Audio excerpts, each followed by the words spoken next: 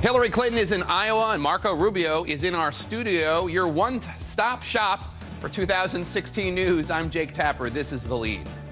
The politics lead. The Scooby has landed. Her van has pulled into Iowa, and Hillary Clinton does a meet and greet on a small college campus. But will this low key rollout of her campaign do enough to woo skeptical voters in a state that gave her a bronze trophy last time? And fresh from his Miami announcement, Senator Marco Rubio will tell you why he wants to be president and how he thinks he can beat the Clinton juggernaut. Coming up live in a one on one interview right here on The Lead.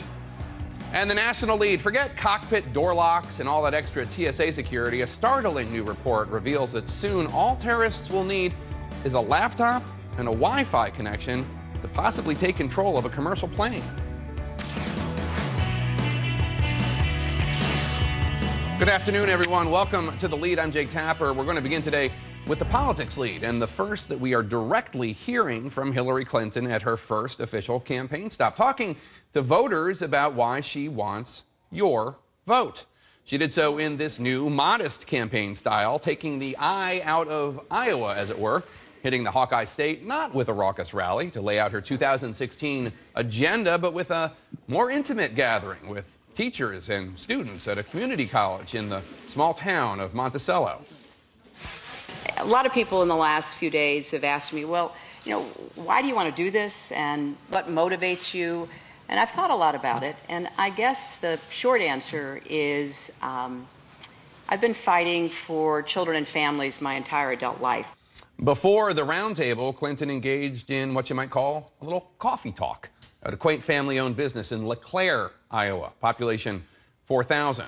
And just in case you didn't get the memo that Clinton was learning from the mistakes of her last campaign, she has pulled a page from her former Democratic rival's fundraising playbook. Much, much like then Senator Barack Obama in 2008, Clinton is initially asking for small donations from her supporters, as little as $5. The hope is that this new approach will help her build a broader base of grassroots support. Let's go live now to CNN senior political correspondent Brianna Keilar. She's in Monticello, Iowa. Brianna, Iowans, as you know, they can be a tough crowd. Did Clinton seem to connect with them at all? No, she connected very much uh, with the uh, folks inside of this event. There is, I will tell you, one protester here, and he appears to have found our live shot. Um, but there were three students and three faculty that she spoke with. You said she took the eye out of Iowa. She certainly did. She did say about her rationale for running that she doesn't want to walk away from the challenges that the U.S. faces. Um, but at the same time, most of the questions, aside from three lone questions about education and family, were questions that Hillary Clinton posed herself to those in the roundtable. Corey, how are you? Hillary, Hillary Clinton, Clinton back on the campaign trail. Her first public stop, a small coffee shop in LeClaire, Iowa, a town with fewer than 4,000 residents.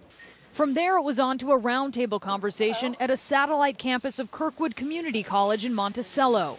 I'm going to work hard to meet as many people. I'll be rolling out ideas and policies about what I think will work but I want it to be informed by what's actually working and to build on what works. It's a far cry from the look and feel of her campaign eight years ago, marked by big rallies filled with thousands of cheering supporters. I'm in it to win it. And travel around the Hawkeye State in what the campaign dubbed the Hill-a-copter. Iowa Democrats ultimately dealt Clinton's presidential hopes a serious blow by sending her to a third place finish in the caucuses. Well, we're going to take this enthusiasm and go right to New Hampshire tonight. Now she's looking for a second chance. I'm back! And going for a more personal touch, putting the focus on who she is calling everyday Americans. I'm running for president because I think that Americans and their families need a champion. Uh, and I want to be that champion. I want to stand up and fight for people so that they can not just get by, but they can get ahead and they can stay ahead. I've talked today with some Democratic operatives here in Iowa, and uh, overall, they really like this low key rollout. But there was an interesting note, some of them telling CNN privately that her appearance in Ohio on the way here, Jake, this is the Chipotle appearance uh, where she stopped in Joliet uh, to uh, get a bite to eat. They look at that and they see this uh, this appearance where she didn't really seem to schmooze much, especially with these voters that are in a key swing state, and they said that's not going to fly here in Iowa, also another key state uh, for Democrats, not just in the primary, but in the general election, where you would expect it would really matter for Hillary Clinton if she's uh, going to clinch the nomination, as so many expect she will. Brianna Keilar, thank you so much. Of course, beyond chowing down at Chipotle, as we just saw, and showcasing her knowledge of Middle America's vast interstate highway system, just what message is Clinton trying to relay to voters on these first few days of her campaign? Let's go now to Communications Director for the Clinton campaign, Jennifer Palmieri. Jennifer, good to see you. Thank you so much for coming on the show. Happy to be with you, Jake. So we just heard Secretary Clinton say in that uh, meeting um, that, quote, there's something wrong when CEOs make 300 times more than the typical worker. Okay, that's a good soundbite. What does Clinton propose to do about it? And did she try to do anything about it during her time in the Senate? Well, I think you know what she uh, what she is doing on this tour, and you saw a lot of it in this uh, roundtable that she did, where you know, she was there for about 90 minutes. She's thought a lot about the challenges that are before the country. Um, you know, what she thinks we would need to do in order to uh, uh, so that the middle class could get ahead.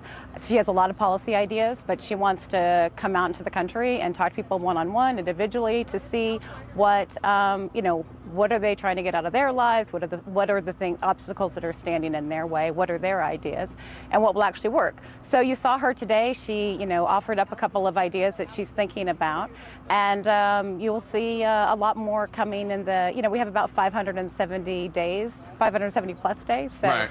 Uh, she is. I think you'll see her. Uh, she's got some ideas about issues that she's pushing on that she'll be talking about, and uh, but this part like the next you know, four or five weeks. She really uh, wants to hear from people, get their ideas, and you know, like, and I think along this time we'll be rolling out some policy proposals. But you'll see more later on in the uh, as the campaign progresses.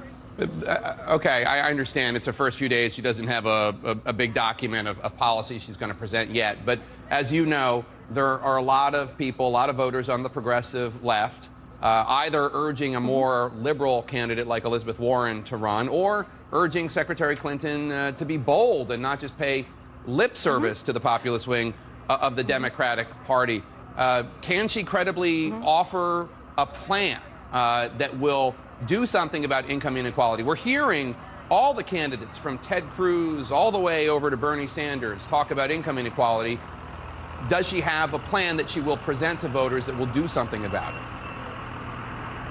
So I think you'd be hard pressed to find someone who's a more committed progressive that's achieved more uh, in their career than Hillary Clinton. So this is someone who, going back for decades, has been fighting for kids and families, and she has. I don't think people think that Hillary Clinton is any short on any policy ideas. It's something she spent many months uh, thinking about, but she doesn't want to just come come right out uh, two days after having announced and said these are the answers. She wants to talk to people and hear what their ideas are. She wants to find out other things that are working in the country. So I promise you, and there is no doubt that she believes we need really bold ideas to help solve the problems that we're facing. Um, but she wants to talk to other people before we uh, before she gets to the point where she's saying, "I'm convinced this is the right solution for the country." All right, I'll. This is your first appearance and her first day, so I'll rain check you on that one, uh, Palmieri. But but let, us move on. Marco, have 500. Yeah, we got a lot of time. It's 500 something days if she get, if she gets the nomination. I just might put that out there. But in any case. All right, that's it. You're right. You're Marco right. Rubio yesterday cast Secretary Clinton as the candidate of yesterday from yesterday. What's your counter to that? What is her large bore vision for the future? Uh, her large bore vision for the future is that she wants the middle class to be able to get ahead and stay ahead. That's something uh, we've come a long way, but that's that's like the big, it's the obvious, big, huge problem still facing our country. Uh, that is her big idea. She, um, you know, I know that there's a lot of attention on the other side about Hillary Clinton. She's focused on people in Iowa. She's focused on people that she met in her drive along the way. Um, she's having a great time doing that. You know, she's thinking about the future. So.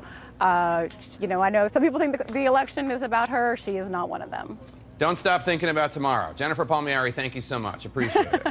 and in just Thanks, a few Jay. minutes, of course, my live interview with Republican presidential candidate Marco Rubio. That is coming up on the show. But first, to some breaking political news. The White House says that Cuba should no longer be considered a state sponsor of terror. The president made this announcement just seconds ago, filing the paperwork today to erase Cuba's name from the list of states that finance and fund terrorists around the globe. In a brief statement notifying Congress of his recommendation, President Obama cited assurances from Havana that Cuba will not support acts of international terror in the future. Assurances that were perhaps given this past weekend when President Obama met with Cuban President Raul Castro. Cuba has been on this terror list since 1982.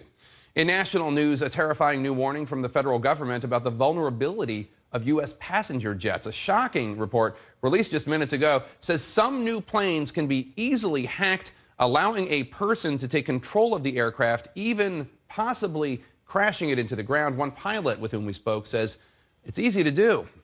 That's next.